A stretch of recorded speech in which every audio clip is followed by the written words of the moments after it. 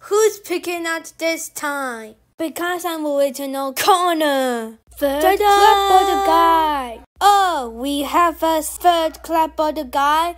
Anyways, take four. Once again, cut.